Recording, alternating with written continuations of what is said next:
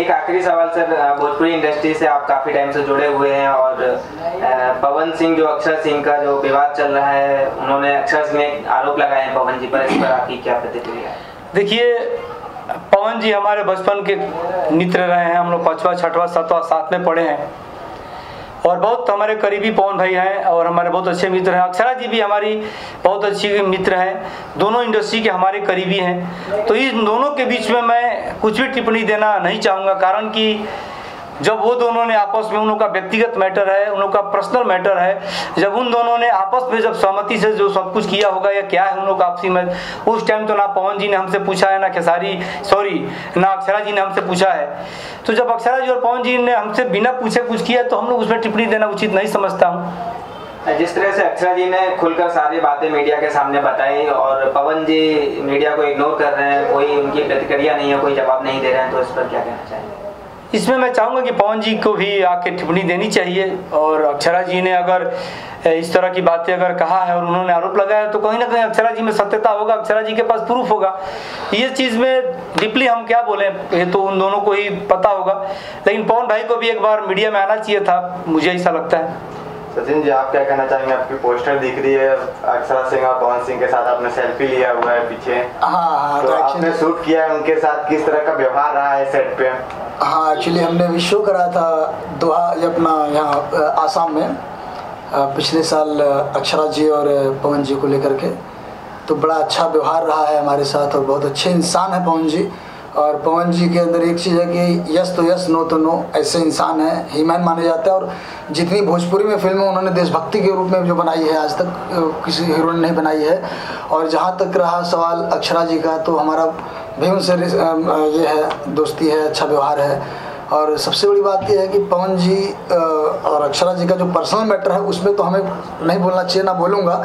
Actually एक चीज़ ये है कि जैसे कोई भी हीरो है, आज के तारीख में, चाहे दिनेश जी हों, और चाहे मनोज तिवारी जी रहे हों, रवि किशन जी रहे हों, और निरवा जी रहे हो, पवन भैया हैं, खेसारी भैया, सब लोग हैं। तो आज हीरोइने सपोर्ट आज साथ में रहती हैं तो अच्छी फ़िल्में करके बड़े एक्टरों के साथ में अपना करियर बनाती हैं। तो अगर कहीं ना कहीं प्लस माइनस होता है तो उसमें लड़कियों को ये ध्यान रखना चाहिए कि हमारे उन, उन सामने वाले की इज़्ज़त लेने से पहले अपनी इज़्ज़त का भी ख्याल करना चाहिए। और आज के तारीख में अगर देखा जाए तो आ, हर एक इंसान हर भोजपुरी में सबकी जोड़ी है आप सबको पता है। तो जहाँ जोड़ी है जहाँ दोस्ती है जहाँ हमारा आपका बनता है वहाँ हम काम करते हैं। हर जगह टीम वर्क है।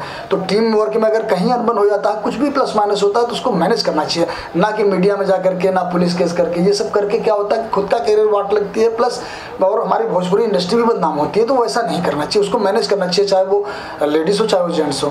तो कहीं आप आपका कहने का मतलब है कि अच्छा जो जो कर रहे हैं वो गलत है। बिल्कुल गलत है क्योंकि पर्सनल मैटर में अगर देखा जाए तो वो अलग चीज़ है। लेकिन यहाँ पर पवन भैया को जो बदनाम कर रहे हैं उसको नहीं करना चाहिए। इस तरीके से जो तरीका है वो गलत है क्योंकि आज जितनी फ़िल्में हिट दी हैं वो कि जब तक खेसारी जी के साथ थी तो उस लेवल तक पहुँची। इसके बाद पवन जी के साथ जब जोड़ी हुई जमी तो उन सबके साथ आज अच्छे लेवल पे उन्होंने एक बड़ा नाम अक्षरा जी का है।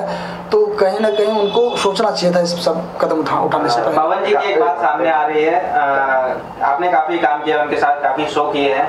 कि सेट के दौरान वो दारू पीकर, शराब पीकर मारपीट करते थे, इस तरह से आपको कभी ऐसा नहीं नहीं नहीं, ऐसी बात नहीं है। ये तो गलत देखिए, मीडिया है, आप लोग भी मीडिया है और जहाँ जैसे बड़ा स्टार होता है तो कोई अगर कुछ एक परसेंट अगर कहीं माइनस प्लस होता है, हम सबके साथ होता है, गलतियाँ सबसे होती है, लेकिन अगर कोई बड़ा है तो उसकी ज़्यादा लोग उछाल देते हैं। तो ऐसा नहीं है। पवन जी के अंदर ऐसी बातें नहीं है। हर हर खाना पीना एंजॉय करना सबका है लाइफ है सब सब करते हैं बट लोग जो है उछालते हैं गलत बात है। काका जी आपसे एक सवाल है आपने बोला कि पवन सिंह आपके बचपन के दोस्त हैं तो क्या पवन सिंह ने आपको मतलब फ़ोन किया कि अक्षरा सिंह के साथ अगर काम मत करना अक्षरा सिंह ऐसा आरोप लगाइए कि नहीं मैं इस तरह का बात मुझे पवन सिंह का कभी भी फ़ोन नहीं आया और पवन जी मुझे कभी ऐसा नहीं बोले कि उनको आप शो मत दो या उनको प्रोग्राम मत दो या फ़िल्में मत दो। मैं अभी पिछले मैं लास्ट मूवी मैंने किया था लव मैरिज तो अक्षरा जी के साथ में ही मैंने काम किया था। तो पवन भाई का कभी ऐसा मेरे पास फ़ोन नहीं आया और मेरा व्यक्तिगत अक्षरा जी से भी मेरा रहा है। बट एक चीज़ ज़रूर है कि सच प्रास्त होता है पराजित नहीं होता है। अगर मैं गलत हूँ तो मुझे भी सजा मिलेगा। अक्षरा जी गलत होंगी तो उनको भी मिलेगा। पवन भाई गलत होंगे तो उनको भी मिलेगा।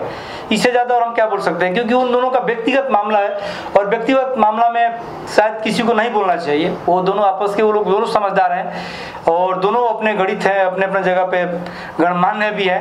तो लोग खुद ही समझ के अपना रास्ता निकाल लेंगे। काका जी चलते चलते आखिरी सवाल। सचिन जी का बर्थडे किस तरह का शुभकामनाएँ देना चाहेंगे सचिन भाई के लिए बस मैं दो शब्द बोलना चाहूँगा कि आदमी के अभिमानी ना स्वाभिमानी होके के चाही हित हित होला दुश्मन के भी ज्ञानी होके के चाही मुँह गोर होके चाहे करिया मुँह पर पानी होके के चाही आ मुछ मोट होके चाहे छोट मुछ खानदानी होके के चाही।